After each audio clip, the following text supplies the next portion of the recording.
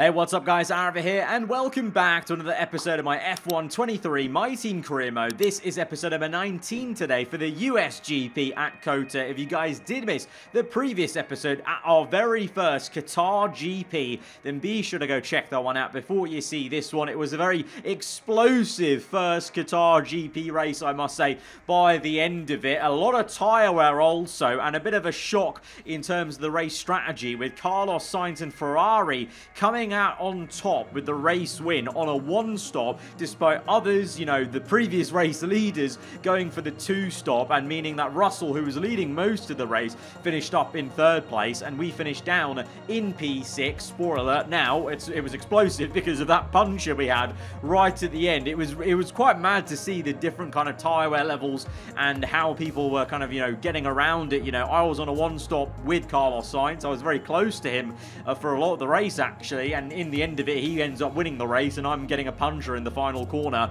and limping home to P6. So, uh, yeah, some mixed fortunes there, but still a pretty fun first Qatar GP experience, and hopefully the next time we come to it, we'll be a lot better and have a much better car. And speaking about having a better car, well, we now know what R&D is going to reset, and we've got over 4,000 R&D points now saved up from the last two times we've done practice programs. So I thought you know what? It makes a lot of sense. Instead of waiting to the end of the season to then spend all the R&D to adapt the parts, why not actually spend them right now as we go, just to kind of see where we stand. Because if there's a point where, you know, we don't have a lot of races to go actually in the season, we're very close to the end, but if there is a chance of maybe actually buying an upgrade, a further upgrade this season, and just improving our chances in the last, you know, let's say three, two, one races left in the season after this one,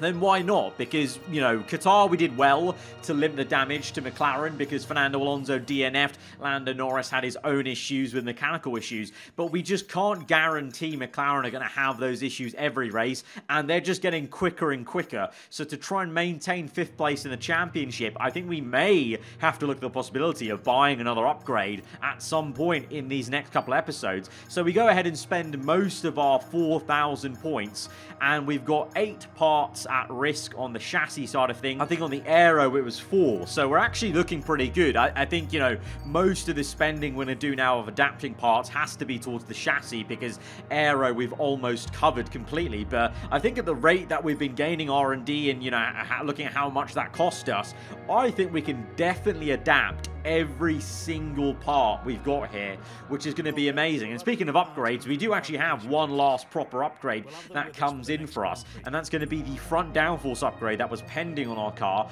and then also a power unit upgrade from Honda themselves. Of course, through the season, out of our control, the power unit manufacturer can actually deliver upgrades. So we've got a small engine power upgrade and the front downforce to balance out the rear. So that's now, for now, really going to be it in terms of upgrades coming to this car unless, like I said, there's half a chance we have some R&D to spend right at the end, uh, right at the end of the season to buy an upgrade. But at the same time, is it going to be worth it? Because we're going to have to adapt it immediately. Otherwise, we're just going to be spending double basically to repurchase it. So it's going to be a, a, a kind of close one to call. I think it'll be a very close one to call in terms of the constructors' championship fight because McLaren, although they're maybe not making the same gains they have in recent episodes, they're still improving. They're still ahead of us, and others are catching us. Haas are now literally right on top of us going into COTA. Uh, you know, they leapfrogged Alpine as our nearest rivals, but even Alpine are there. Williams have made some amazing progress to leapfrog Alpha Tauri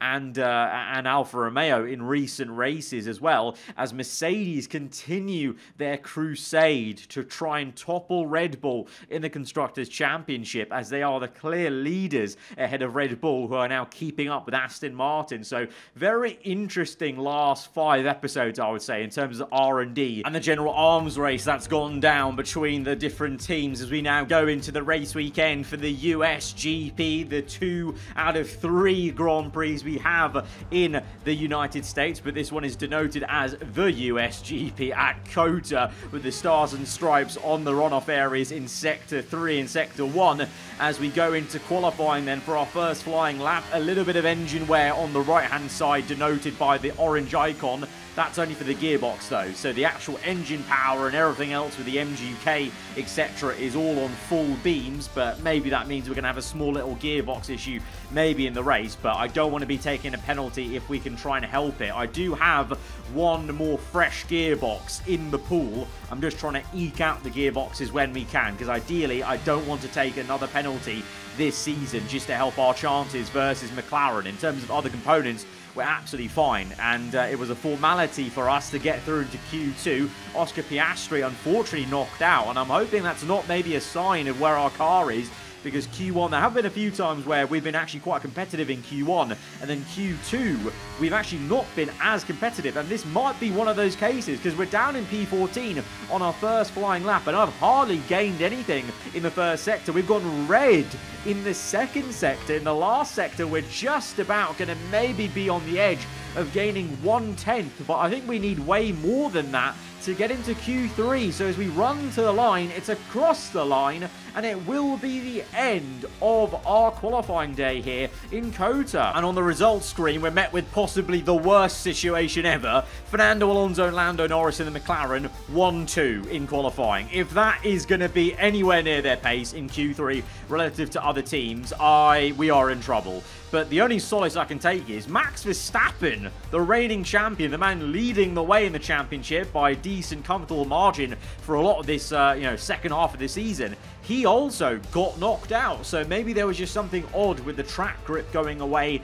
Evolution, maybe, you know, maybe the track grip was going away from us by the end of the session. That's why we hardly gained any time. Very, very odd. It's not been the first time that, unlike other F1 games, I have felt slower in Q2 compared to Q1, which has always been the case the other way around in previous F1 games. But we do have a way to make up for it because this race weekend is a sprint weekend. I actually forgot about that. Back-to-back -back sprint weekends from Qatar to US here. So we have a chance to make up for this poor qualifying. The same for Verstappen and try and get up into the top 10 for Sunday's full Grand Prix and also maybe pick up some extra points if we can to uh, limit the damage versus the McLarens who we don't know could be absolutely rapid this weekend. So we get ready for a race on Saturday. It's the sprint at COTA as we go to five red lights here in Austin, Texas. Texas. We're underway, and it's a slow start for Lando Norris, Verstappen as well. They get caught up in it. A lot of drivers get caught up, getting bogged down, and all of a sudden we've shot up to P8. What a start that's been for us. I think there's like four or five drivers that had a really slow start there. Albon, terrible on the exit of turn one as we're up into P7, but we're going to need it because Fernando Alonso is up in third place, so he is looking very strong indeed but great, at least for us, that the other McLaren, at least, is outside the top 10. So we've just got to try and limit the damage to Fernando in P3. Going to be easier said than done as uh, the next cars up are the, uh, the two Ferraris and the Red Bull of Sergio Perez. Albon is on the back of me, and to be honest, already I can tell maybe we don't have the pace to really attack these guys, maybe as we did in the middle of the season. So I think we may be looking backwards rather than forwards uh, towards Albon, and then eventually you, you, might think where Verstappen comes into play when he makes his way through the traffic. But this is a replay then of Lando Norris in the McLaren. Um, it, just a shocking, shocking start. It's almost like he hit anti-stall or bogged down. He gets overtaken by two Alpines, myself, Verstappen as well, who also got held up a little bit uh, through that sequence because Lando went so slow that he holds up the Alpine and Aston on the left-hand side of your screen there. And Verstappen also got held up by the other Alpine momentarily as we cut back to the live action. Albon sending it down or inside the Aston Martin, trying to get the elbows out. Albon really wants to make this pass as uh, behind is the two Alpines and then you've got Verstappen in P11 so we're going to try and defend our Albon, but I'm thinking at some point maybe you'd think Verstappen is going to come knocking and trying to overtake all of us as Albon won't give up this position for P7. He's still on the outside. He swoops round the long way round and he's going to make it work as he'll get to the inside for the next corner. We can't make a switchback work, so we have to go to the outside of this very off-camber circuit. Opposite lock, almost drifting the car through this section as we're doing almost like a little tango dance myself and Albon still giving each other enough room to work with. Albon committed to that left-hander, the second last corner into the last. We are pretty much side by side for that entire last sector as we go on to lap three out of 10. So, you know, the laps are coming thick and fast, but the pressure is just building from Albon as there's now a big gap. We've lost about five seconds to the lead pack. So this is our fight then,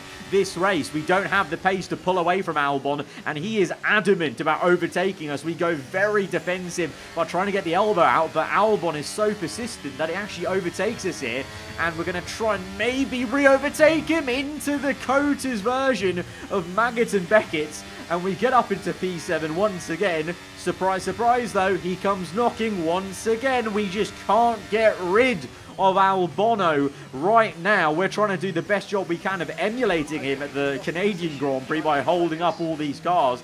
But we don't even have the straight line speed advantage because you may have seen earlier in the video, technically now, Mercedes and Aston Martin both have better engine performance than, than ourselves. We're no longer the best engine on the grid, so that actually might explain why Albon's able to come back at us so well in a straight line. Is up the road, it's quite calm in the world of the top six, I guess, because it's a 1-2 for Mercedes, Hamilton from Russell, that's big for the Constructors' Championship. Alonso, though, third place, that's worrying. I need the Ferraris to do something, and Perez to, uh, to, to, attack the McLaren, but it doesn't look likely. They're kind of all just in a bit of a DRS train, in the same train that I'm also leading, as Albon now sends it so late at turn one.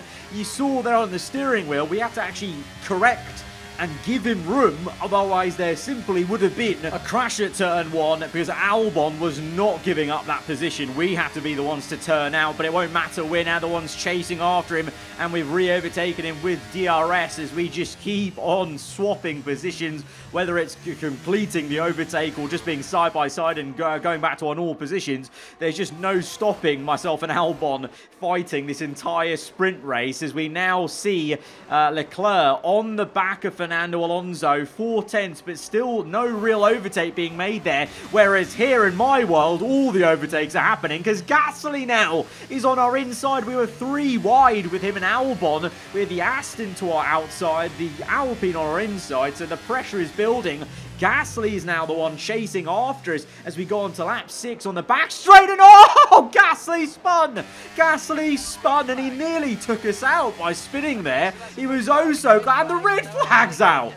There's a red flag in this sprint race at COTA for a spinning Pierre Gasly. I guess he was facing the wrong way into incoming traffic, but that's a very surprising red flag.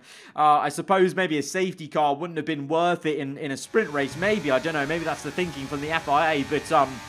Gasly. Very, very odd. Looks like he's trying to just gain too much of this. And he just spins it. I went wide there. All he had to do was pick up the throttle normally. And he would have had a good run on me. You can see the different racing lines there. I've gone wide. And Albon's quite lucky that he didn't get taken out by this spinning Frenchman. So, yeah, uh, Gasly's uh, pressure maybe got a bit too much for uh, his own good in the cockpit as he just loses the back end. And this is really going to shake things up because now we can go on to the soft compound of time. Because we got knocked out in Q2, we have a fresh set of soft tyres. Unlike the others who were in the top 10, they'll be on worn soft tyres. So we have a great chance from P7 on the grid to maybe do some work here as we go to five red lights for the second time in this race. And it's an absolute disaster for Leclerc and Alonso. Carlos Sainz gets caught up in it. And all of a sudden, we're trying to go round the outside of the two of them for maybe P3. We're all oh so close together on the exit. We nearly make contact with Fernando. We're getting a bit skittish on the rear end as the tyre temps are a little bit lower. It feels like it as we commit, though,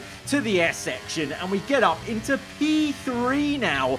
But the track is overcast and the track temps have plummeted. And I'm feeling it in the cockpit as the car goes wayward. We have no grip on the front end there. Then we have an oversteer moment. And that's let Alonso by. So a very chaotic restart from the red flag. You had Alonso and Leclerc who both bogged down. Sainz got a good start but got held up by Alonso.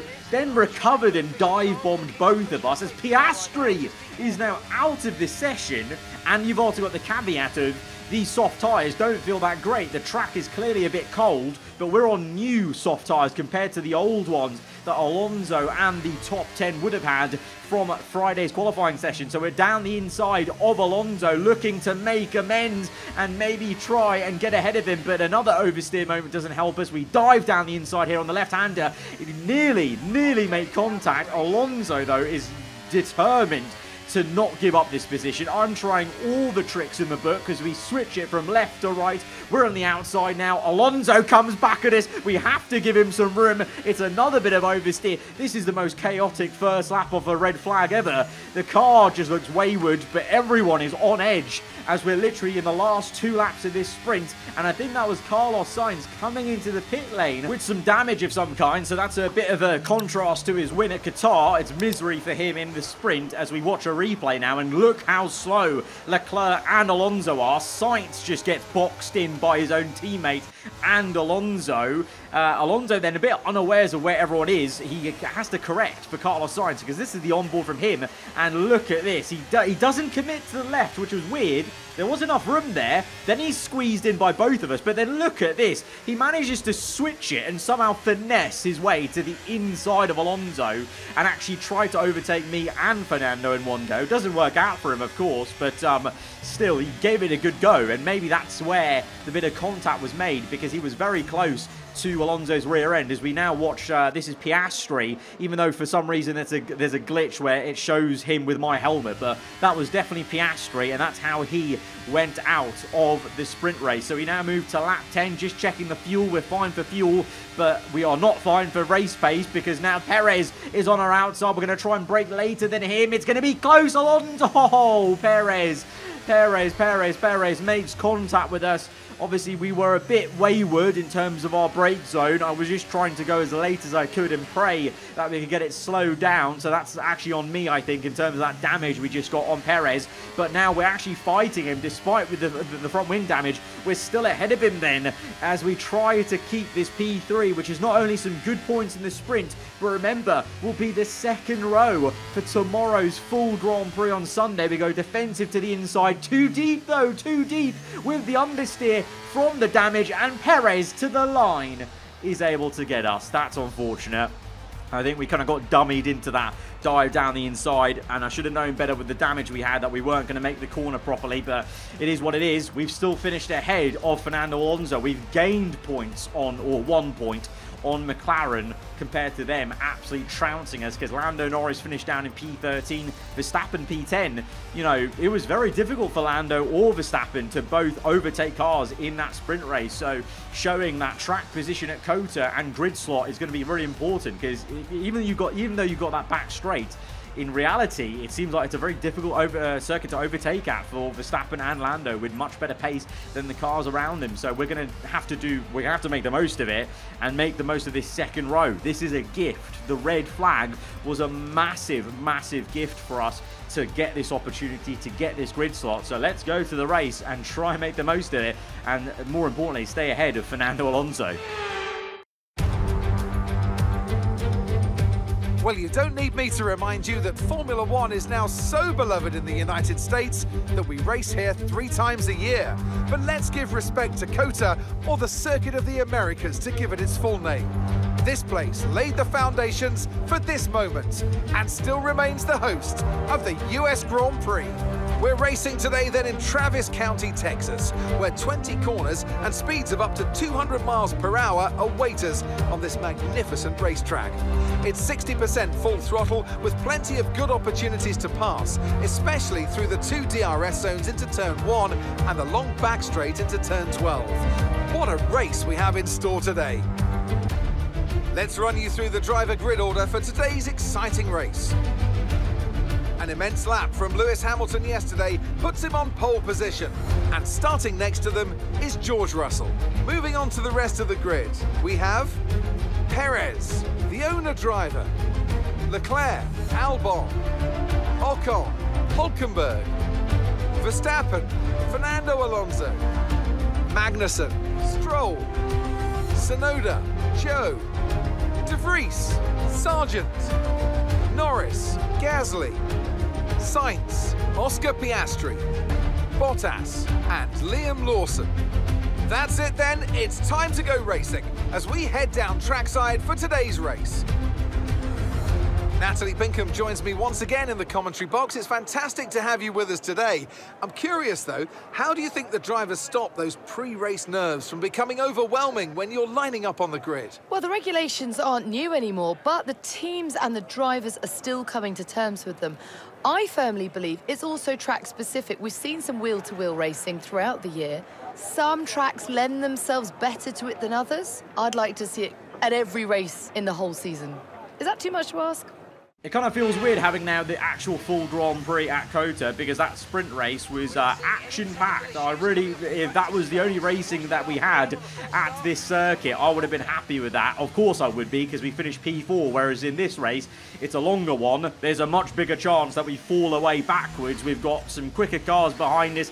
Leclerc, Albon, the guy we're fighting all along. Fernando Alonso, though, is not right behind us in P5. I've actually just noticed.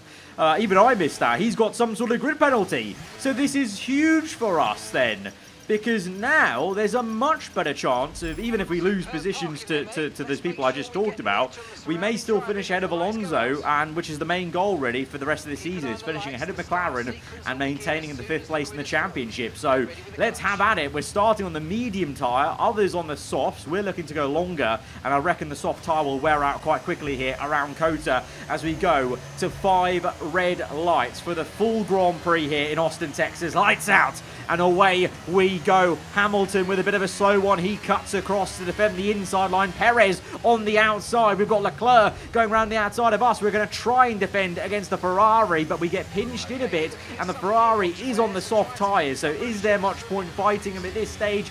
Maybe not, so we're going to let Leclerc by into the S section because I think we've got other fights to be worried about. Ocon Albon, who's already been overtaken by Verstappen. So, to be honest, if Verstappen comes knocking, we may just let him by. But we're going to definitely fight uh, Ocon if we can, because he's in the realm of our race pace. But it's Hamilton then in, in, first place, from Sergio Perez in second, Russell third, Leclerc fourth, and then behind me, Ocon, Verstappen, Hulkenberg, uh, Alonso's down in P9, and Norris still down in P13. So the McLarens really not liking traffic, it would seem. They can't overtake very well in, uh, in traffic with slower cars. That's good news for us in terms of trying to gain points on McLaren or at least maintain our stature in fifth place as we have a little half look at the Ferrari because in a straight line we're quicker than the Ferrari at least but the, Ast uh, the uh, Mercedes power teams of Merc, of Aston, they seem to have an edge over us uh, now at the moment in this season. The, the Ferrari is fair game for us but unfortunately, as we go on through, you can see Leclerc is slowly pulling away from us.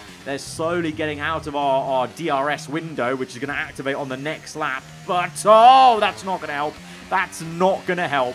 That's a big moment. That's lost us a couple of tenths there. And all of a sudden now we're looking vulnerable. We're outside the one second by the time we get to the next lap. And we're just not showing very good pace on these mediums. Leclerc keeping up with the Mercedes and the Red Bull. And maybe getting into my own head a little bit in terms of that time we lost versus Leclerc. And now Ocon is all over the back of us. And I'm not feeling in a good rhythm around this circuit like we were in the sprint. Maybe to keep ahead of Albon. We go wide at the final corner. These are mistakes we just weren't making that much in the sprint. Ocon is now ahead of us with DRS. We don't have DRS, and we're trying to overtake him round the outside. And whilst I do that, Verstappen just comes in and shows how quick the Red Bull still is as he gets me like I, I wasn't even there. In his world, I wasn't even there. He just overtook me so easily. It's fair enough. He was always going to do it. So now, can he crucially, though, follow Verstappen through and overtake Ocon to at least get back into what would have effectively be P6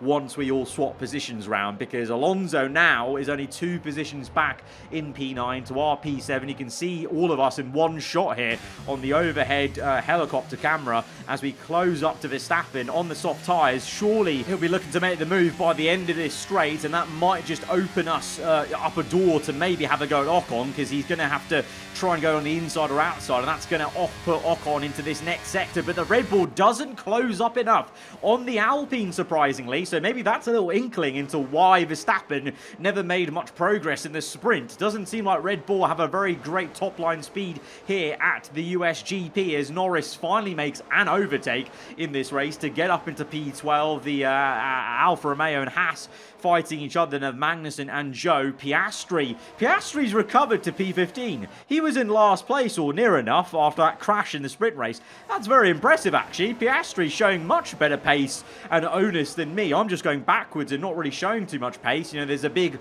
4.3 second gap from Ocon to Leclerc, and that's all because of me, basically, being slower before Ocon and Verstappen overtook me, as uh, there goes Verstappen finally now up the hill on the outside. Ocon defends, there's contact between Ocon and Verstappen, old nemesis is remember from the Brazilian GP those years ago, Verstappen has to stay put in P6. Ocon is the fire! Oh my god.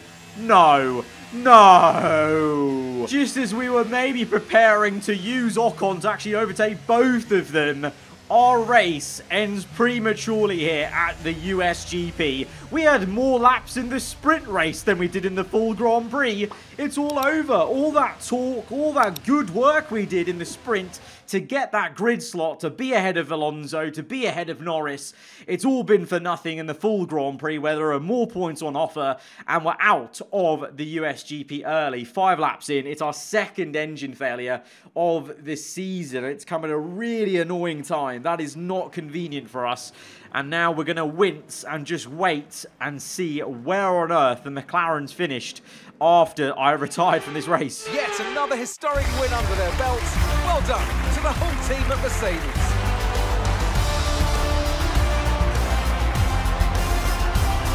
Natalie Pinkham, how do you think they were able to set themselves apart today?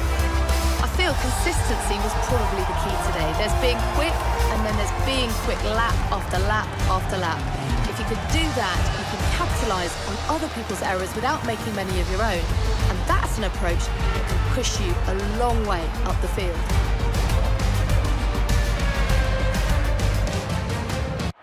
So after a magnificent race, we can now see the drivers making their way to the podium. Once again, it's the Silver Arrows who take the top spot, a well-earned victory for Mercedes. Lewis Hamilton wins the USGP, Perez in second, Russell third, so literally nothing changed in the top three order since we retired at the Grand Prix. This is pretty big for, for Mercedes. I think they actually now might even be in the lead or near enough uh, close to Red Bull in the Constructors fight, so it's game on for Mercedes versus Red Bull, and you know, with Hamilton now, he's been quite consistent as of late. Could he now have maybe half a chance of maybe looking to close the gap to Verstappen? We're going to have to see in the full standings, but first and foremost, where is Alonso? Alonso P6, Norris, ah, oh, Norris P7.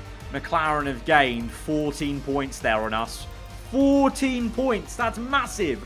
There was only a 40 point gap before, so that's nearly a, over a quarter of the points they had to us. They've gained in that one race because of our DNF. That is not great for us. What is great, though, for the uh, entire series and the championship is that Lewis Hamilton now, all of a sudden, is only 19 points behind Verstappen.